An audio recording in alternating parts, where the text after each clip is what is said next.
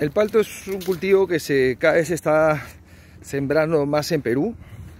Eh, su tasa de consumo mundial sigue entre 7% promedio y estamos hablando de que hay países que todavía su tasa sigue incrementando a 12%. Es un cultivo que no ha llegado todavía al techo.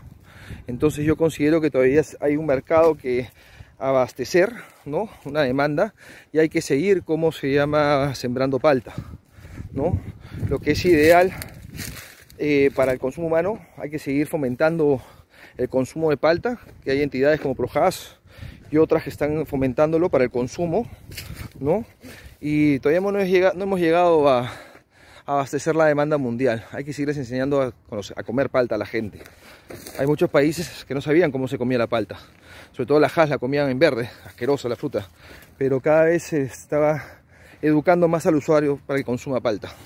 Lo cual es un cultivo que considero que para los empresarios muy interesante por el tema de que tienes muy buenos retornos por hectárea al quinto año se paga el sexto la inversión ¿no? realizada y tienes un ingreso neto de 35 toneladas precio promedio de un dólar 20 es el precio más bajo que puedes conseguir en el mercado aunque este año por el coronavirus ha sido duro pero nosotros en promedio hemos estado vendiendo un dólar 65 a un dólar 95 ¿no?